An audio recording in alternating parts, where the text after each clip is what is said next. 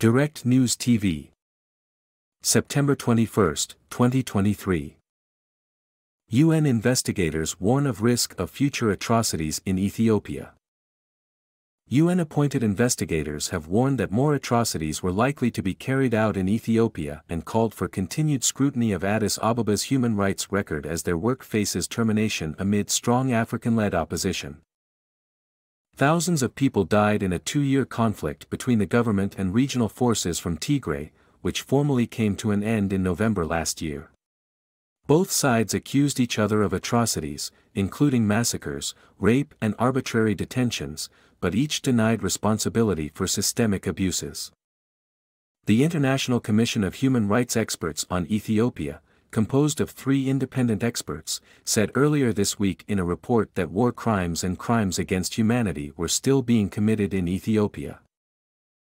Its two-year mandate is up for renewal in the ongoing Human Rights Council session in Geneva although so far no request has been submitted amid what diplomats describe as strong opposition, mostly from African states. Ethiopia, which has denied committing widespread abuses, has strongly opposed the probe and tried to cut its work short. Mohamed Chande Othman, chair of the commission, told the 47-member council it would be premature to end its work and urged it to renew, referring to continuing violations in the region of Amhara.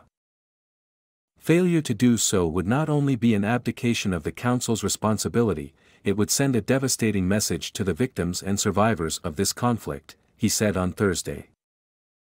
He said it was hoped that the cessation of hostilities agreement, COHA, signed in Pretoria in November 2022, would pave the way for an end to one of the deadliest conflicts of the 21st century, which has devastated communities across northern Ethiopia. This has not proved to be the case.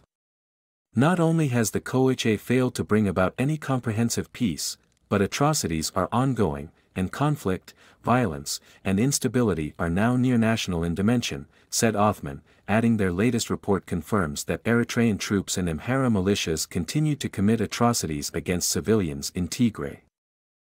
He criticized Ethiopia's approach to justice as deeply flawed, saying there had been no credible evidence of legitimate investigations or trials of its soldiers whom it accuses of attacking civilians.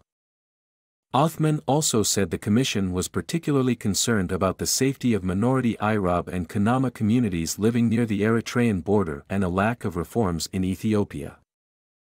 Ethiopia's government and its armed forces have repeatedly denied that their soldiers committed widespread crimes and have promised to investigate complaints of individual abuses. Ethiopia's ambassador Tsegab Kebebew said the commission had grossly mischaracterized the positive and widely acclaimed political developments in Ethiopia.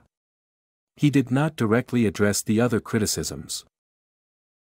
Ivory Coast envoy Konan Francois Kwame said that it considered the work of the UN Commission as now being terminated and urged the Council to instead support Ethiopian-led measures. My name is Kingsley. Please like, share, subscribe and hit that notification bell so you can be the first to be notified whenever we post you won't regret it.